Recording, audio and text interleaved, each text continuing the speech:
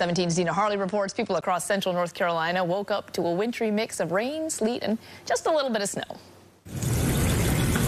Rain, sleet, even snow falling throughout the triangle early Sunday morning. Some people seeing mostly rain. Just a little bit this morning, but not enough to uh, stay in the house. While others in Raleigh woke up to a layer of snow on their cars. I didn't think I would get that, that, that much snow.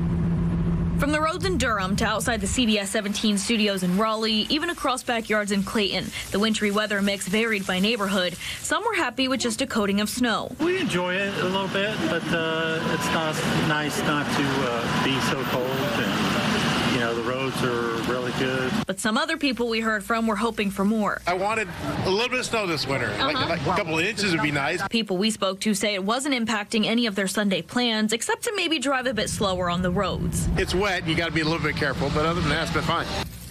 In Raleigh, Dina Harley, CBS 17 News.